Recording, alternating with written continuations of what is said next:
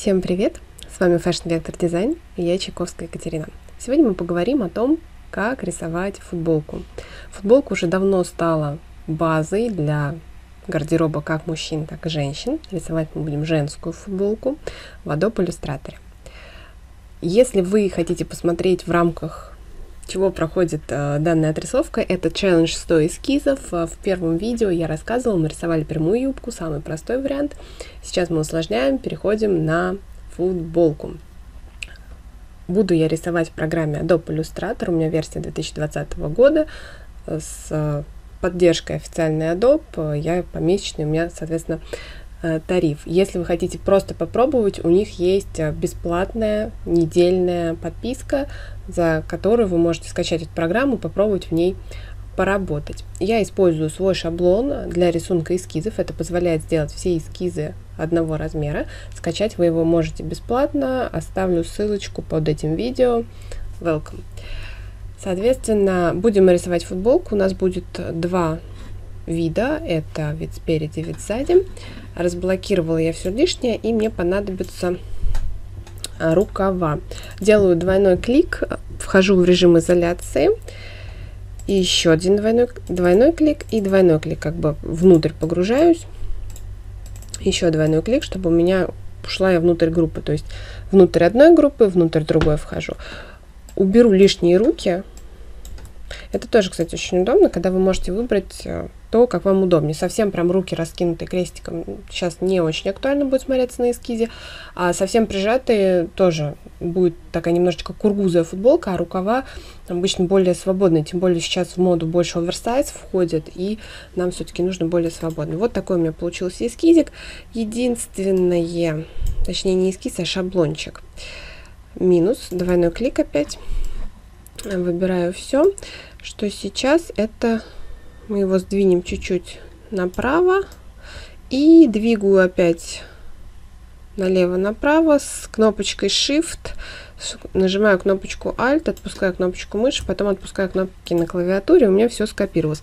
Видите, рука немножечко пересекается, то есть если вы хотите именно какой-то длинный красивый рукав рисовать, то тогда надо руки, ну, развести их подальше, чтобы они, поскольку я буду рисовать футболку с, со средней длиной рукава, выше локтя, мне это не принципиально. Инструментом монтажной области раздвигаю зону, на которой я буду рисовать. Все, я подготовила шаблон, соответственно, двойной клик, э, выхожу из зоны э, выделения, да, то есть я проваливалась внутрь, это, э, то есть внутри группы я проваливалась, чтобы не менять ничего внутри вот именно документа, как оно есть. Так, теперь блокирую слой и создаю новый, на котором буду рисовать. Рисовать я опять буду инструментом перо. Вот здесь он у вас находится на панели инструментов. Приближаю один из шаблонов. Мы сейчас нарисуем с вами половинку футболки. А после этого ее раззеркалим, сольем. И из нее потом сделаем спинку. То есть не надо будет целиком рисовать с нуля спинку. Мы ее как бы отсюда заберем. Что очень удобно, здесь уже намечены у нас плечи, все у нас с вами есть. Берем инструмент перо, ставлю плечевую точку. Будет немножко спущенный рукав. И смотрите, как хорошо это сразу видно на футболке. Единственное, что у меня получилось черный цвет должен быть у контура. И в обводке снимаем пунктир. Вот. Так правильно. Так, э, рукав рубашечного типа. В рубашечном типе у нас окат практически прямой будет, да, чуть-чуть буквально мы его сделаем. И чуть-чуть, чуть-чуть прямую футболку по бедро. Соответственно, такой вот актуальный фасон. Нажимаю Shift, чтобы у меня линия была абсолютно горизонтальная. Опять шифтом веду наверх до точки, которую считаю актуальной. Дальше там уже будет э, бейкой отделана горловина. Так, и рисую половинку горловины. Вот у меня получился такой основной а, базовый контур. Специально рисую без а, заливки. Заливку мы применим потом. Теперь вот эту точку, наверное, нужно немножечко нам поправить. И это еще один плюс иллюстратора, когда вы можете ту точку, которая вам смущает, поправить для того, чтобы она была в нужном месте. Вот эту, наверное, тоже. А, значит, смотрите, если вы плохо знакомы с иллюстратором, у него есть два инструмента по выделению. Это выделение и прямое выделение. Прямое выделение работает с точками, а выделение работает с объектами и группами. Это нужно просто освоить, запомнить. Рассказываю все это на курсе. В данном челлендже рассказываю только, как рисовать, потому что все тонкости программы вот так вот рассказать невозможно. Это нужно проверять, это нужно выполнять задания, и там есть э, как бы определенная методика, по которой иллюстратор осваивается, потом с ним вообще никаких вопросов не возникает. Теперь рукав. Рукав, рукав. Сделаем его достаточно широким. Вот такой рукавчик. То есть э, рисование в иллюстраторе, оно ближе к геометрии, нежели чем к рисунку как таковому. Вот, здесь базу сделали, здесь базу сделали. Что нам еще нужно с вами сделать? У нас, когда фут, на футболку мы смотрим, будет видна горловина по спинке. Соответственно, вот она. И нужно, чтобы четко линия совпала. Как этого добиться? Видите, я сейчас нарисовала через край. Нам нужна обработка контуров. Окно, обработка контуров. Она там лежит всегда. Вот, я обычно выбираю обе детали, смещаю их в сторону шифтом и с альтом. Отпускаю кнопки мыши, отпускаю. Все, здесь тоже стереть. Теперь мы все разберем, разрезаем. Правой кнопочкой мыши разгруппировать. И все лишнее убираем. Таким образом, что у меня получилось? Возвращаю обратно шифтом. У меня получился идеальный кусочек, который абсолютно точно совпадает. То есть мы просто вырезали. И вот здесь еще можно сделать углы скругления в панели обводка. Таким образом, смотрите, когда у нас острый уголочек, вот он торчит вот здесь, а когда скругленный, он не торчит. Это, это внутренняя функция программы, как она оформляет углы, но таким образом оно смотрится лучше. Так, теперь мы нарисуем беечку. Беечку лучше рисовать на половине. Так, накривила я изрядно, но это ерунда. Мы сейчас это поправим и сделаем абсолютно красивый упругий контур. Особенности работы в векторе, чем меньше точек, тем более упругий такой красивый контур получается. И все то же самое. Выбираем, сдвигаем. Это нам не нужно.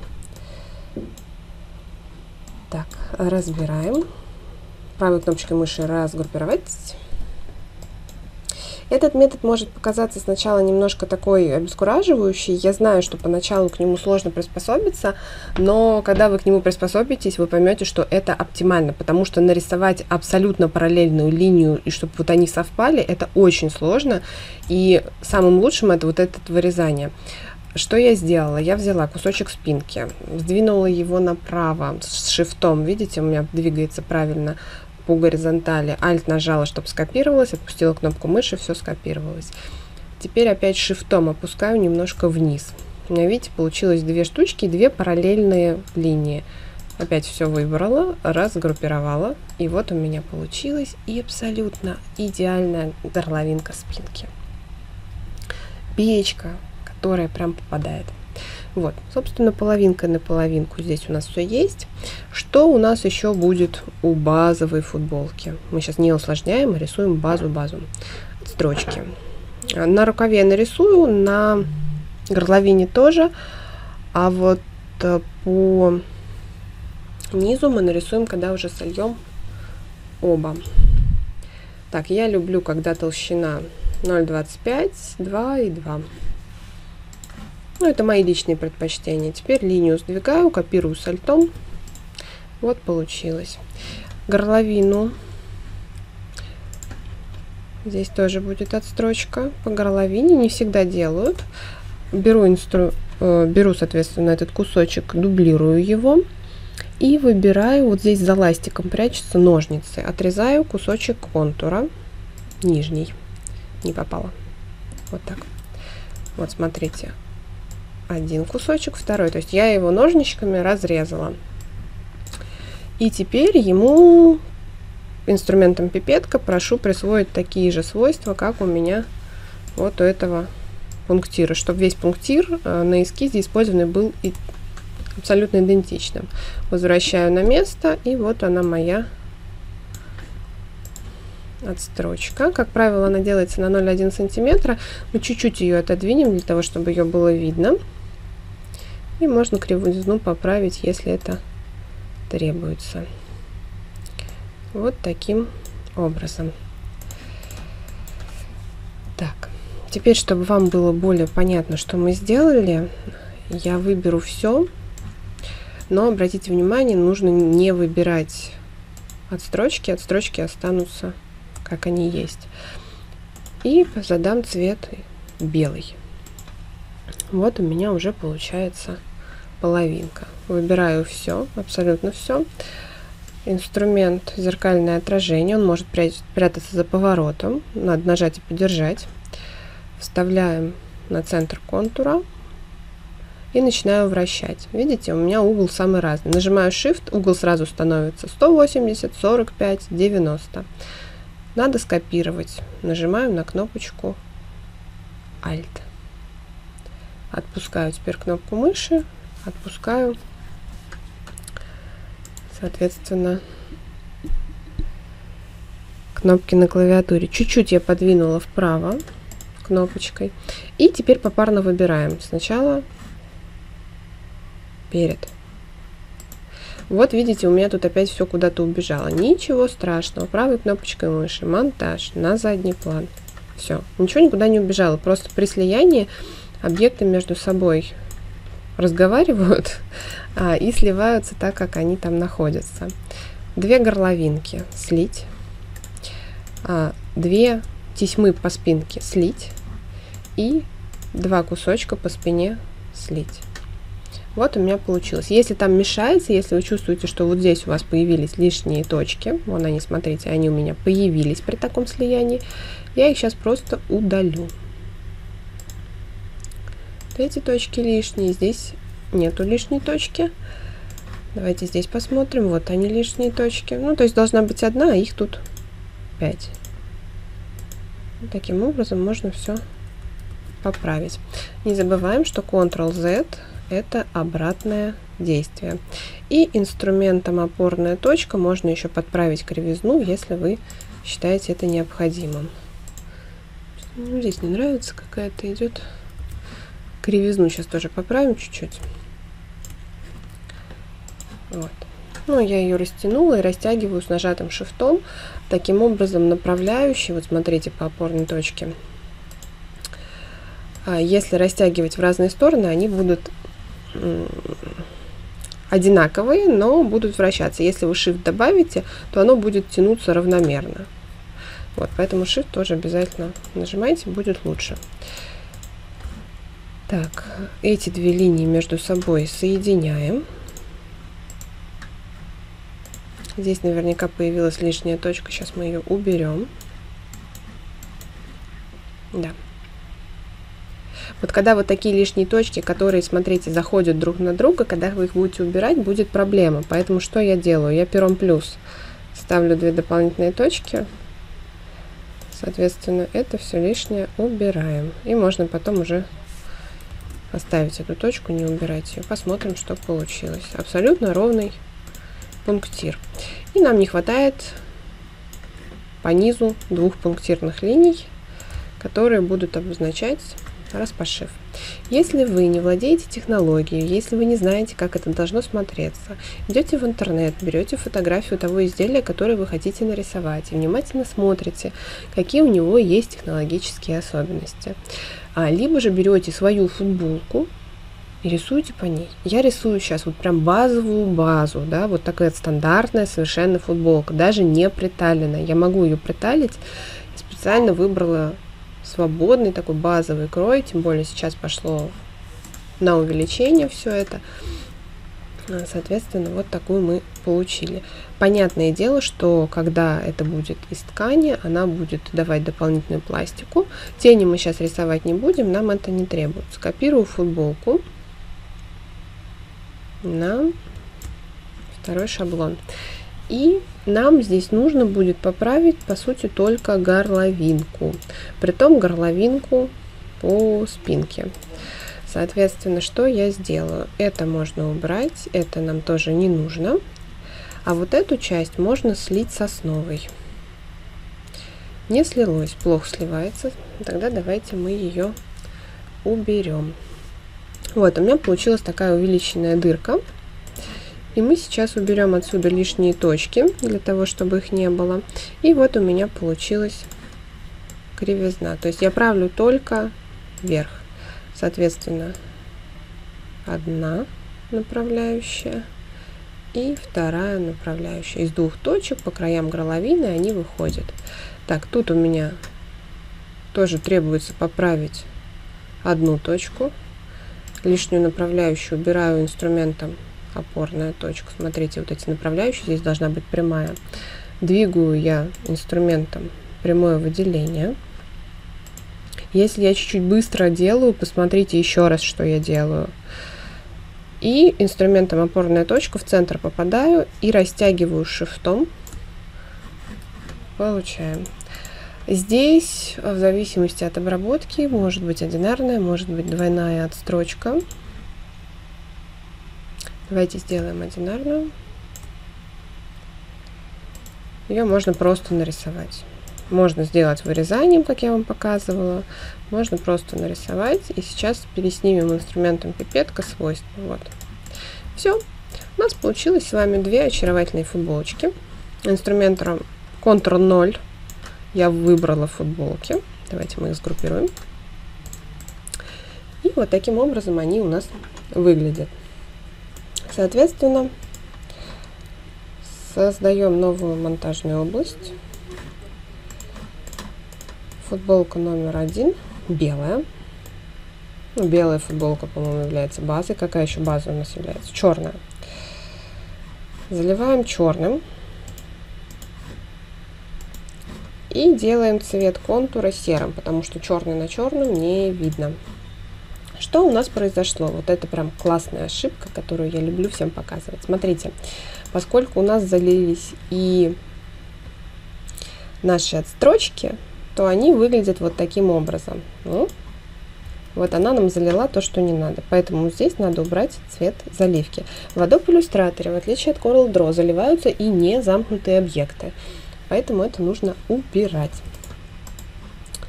Вот.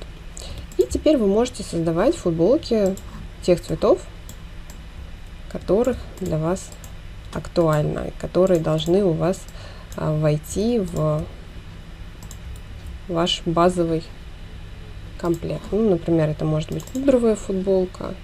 Цвет можно подобрать, либо взять с исходника, если у вас есть уже образцы какие-то.